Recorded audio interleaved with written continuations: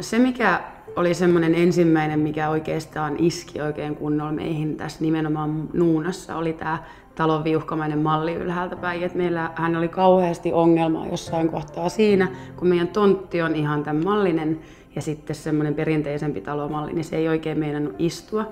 Ja sitten sattumusten kautta niin me päädyimme sitten Kuusamon hirsitalojen luokse. Talo ja, ja tota, pohjaratkaisun tehtiin aika paljonkin muutoksia. Käytännössä piirrettiin ihan alusta loppuun se itse ja sitten testautettiin se tietysti sit ammattilaiset, että onko tässä mitään järkeä, että voiko näin tehdä.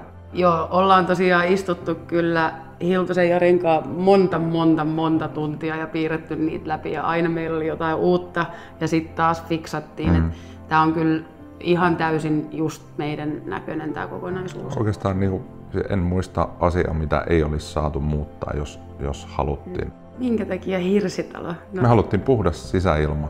Kyllä, siis pitkäikäisyys, se, ettei koskaan tulisi oikeasti niitä homeongelmia ja, ja sitten myös toi niin kuin hirren pinnan hmm. esteettisyys se on niin kuin valtavan kaunis. Et me ollaan jätetty niin paljon hirsipintaa, tai kaikki hirsipinnat niin ollaan jätetty näkyviin, että pelkästään sit vähän kuulutettu hmm. päältä ja hiukan eri sävyjä eri paikoissa käytetty. Ja se, on, se luo semmoista pehmeyttä ja myös akustiikka on yksi, yksi mikä on meille molemmille tärkeä. Iso kiitos meidän, meidän tota, kaikille, ketkä tämä on mahdollistanut, niin rakennustiimille kuin, kuin Kuusamollekin, että et, et on kyllä, tämä, tämä on ollut meille, meille niin kuin juuri loistava.